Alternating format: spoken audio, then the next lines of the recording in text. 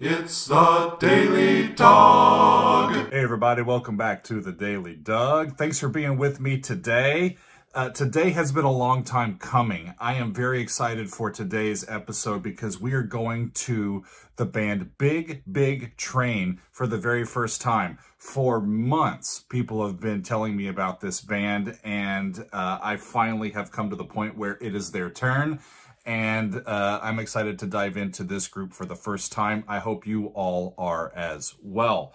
The, the piece that we have picked for today, uh, like many of these prog bands, uh, their best songs are very long. and uh, I went to the Big Big Train community on Facebook and I said, hey, y'all, I'm going to be doing one of their tunes. Which one should I start with? And they suggested a bunch of songs and they were all quite lengthy. And I was like, is there any one of lesser length that we can start off with?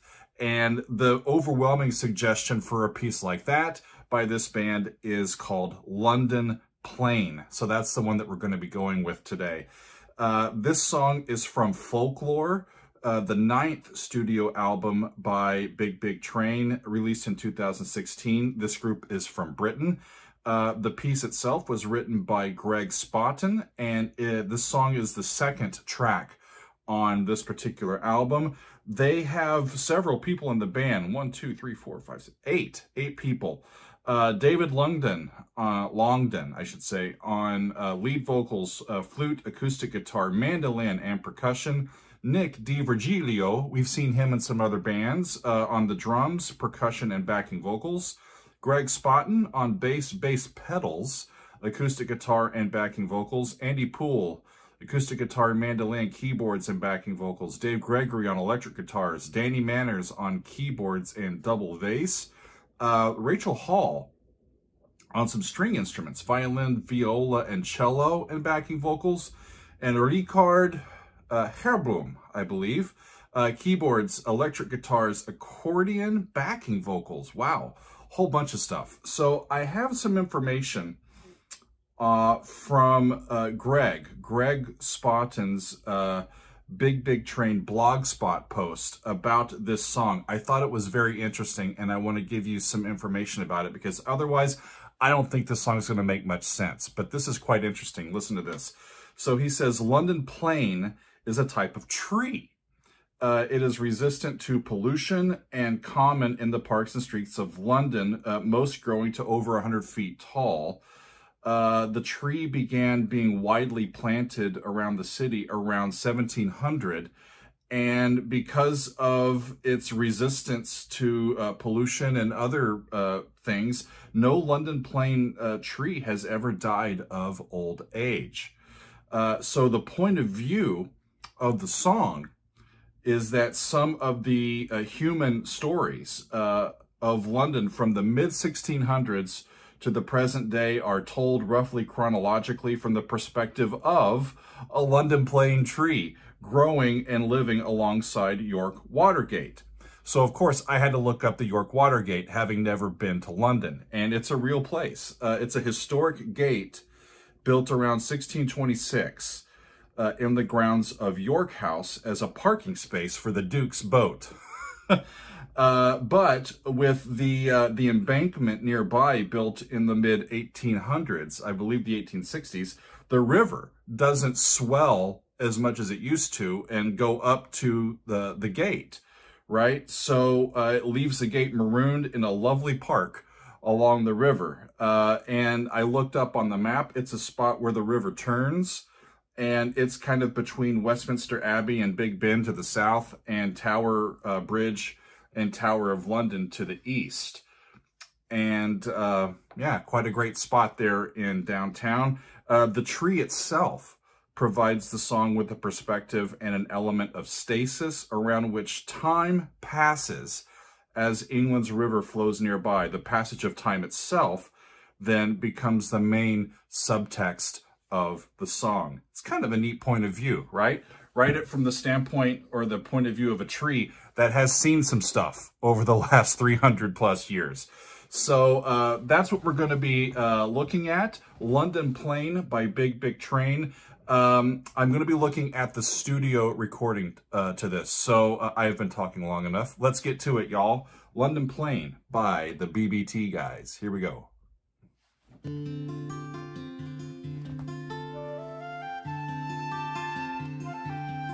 D minor.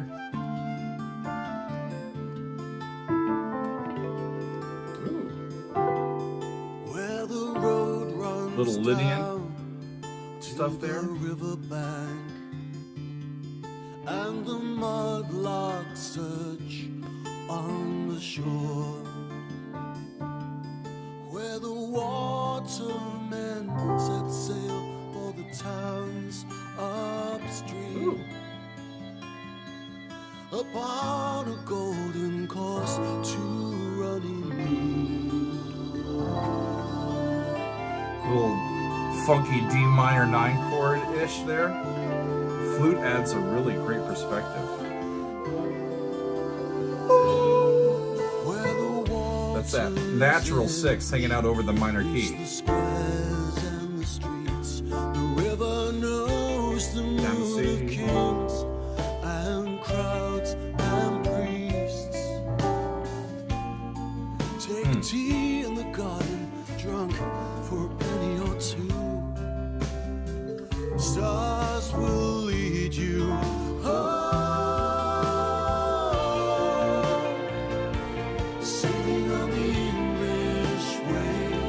Sailing. Stars will lead you home. Um, sailing on the English way, racing on the high tides, here by the riverside, reaching for the day's last light. Great lyrics.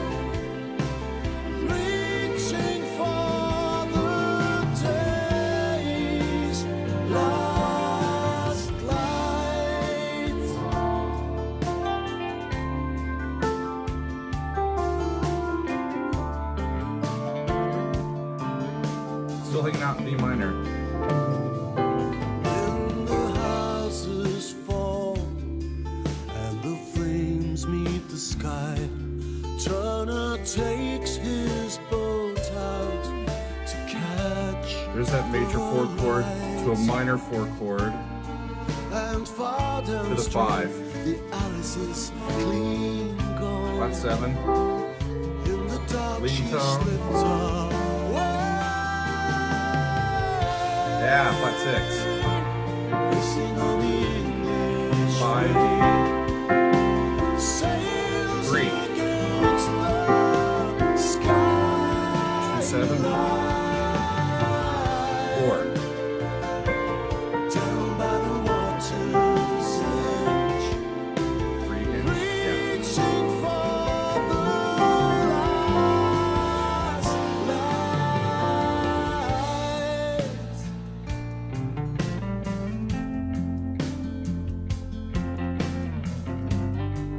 Love it.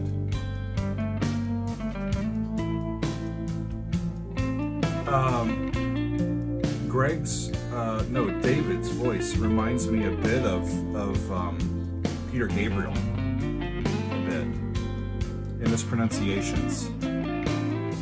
Going up the scale.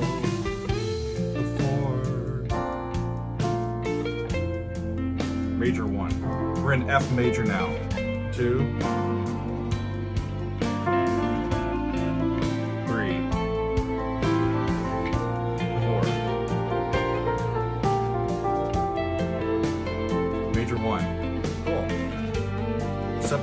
Just uh, nice little chords.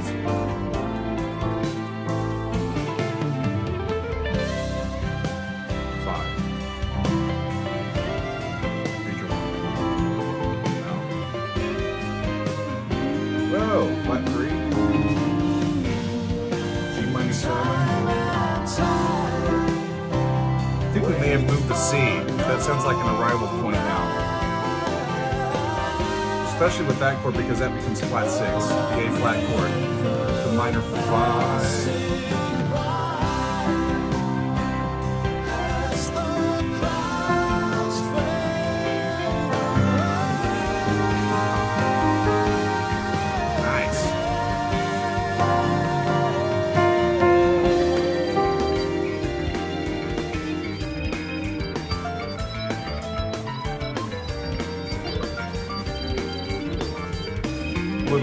Section change here. I think it needed it. It was time for this. Putting the prog and, and the progressive music with this.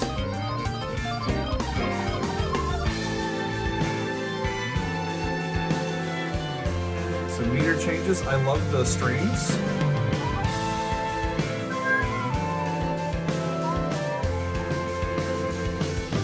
This might be um, a depiction of the passing of time. Like I'm imagining if this was a video, it would be like scenes throughout history, like catching us up to a different time period. Uh, and watching the seasons come and go with the tree uh, watching over everything, right?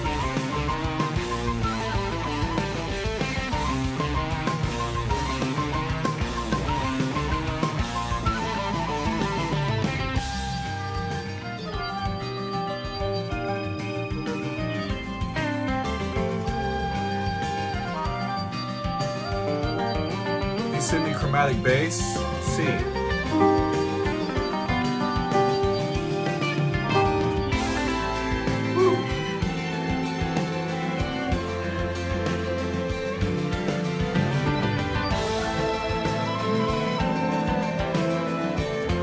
Very tasteful. I'm enjoying this. Very melodic.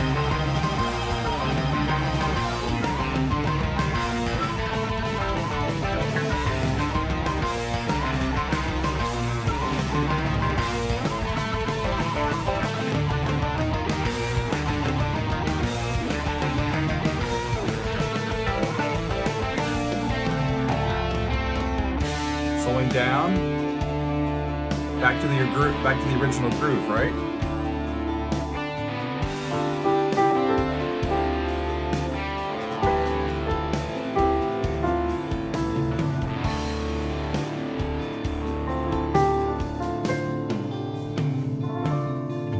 The fires grow cold in the east. The fires grow cold in the east. In a brave new world. I read that that's a um, a reference to another one of their songs. The clocks are stopped and boats are held.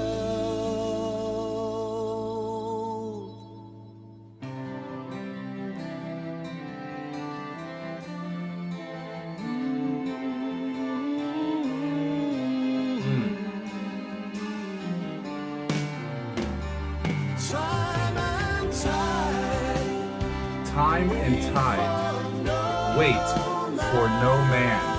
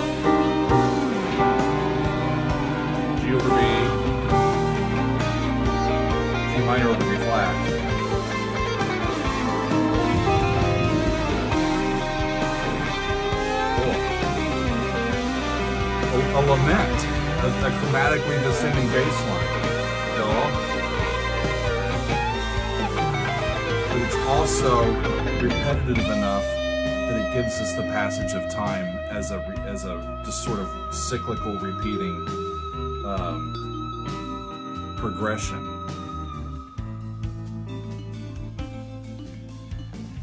Marimba, or the xylophone in there.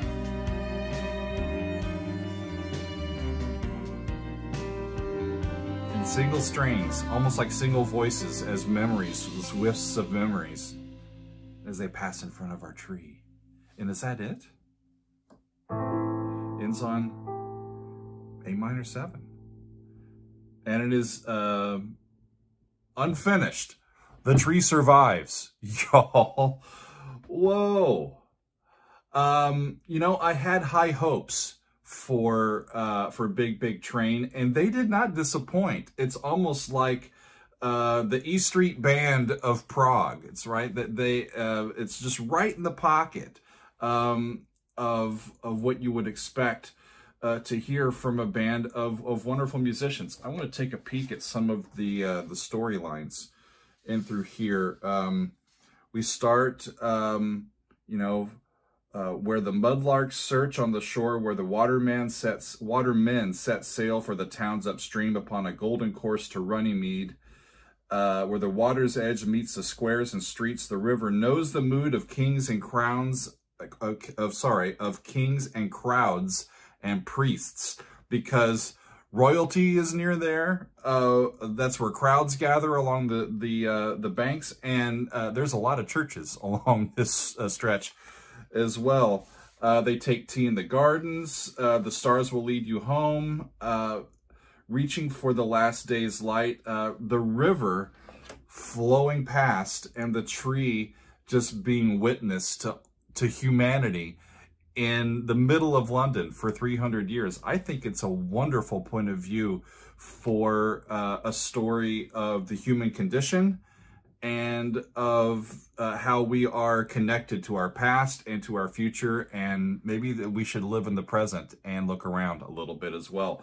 Uh, thank you to a Big Big Train and to the Big Big Train community, especially on Facebook, uh, for helping me out. We've got some more from this band for sure coming up. I am interested in continuing to look into their music. Uh, I think it sounds really great. Thanks, y'all, for being with me today. This has been fun. We will see you next time on another edition of The Daily Doug.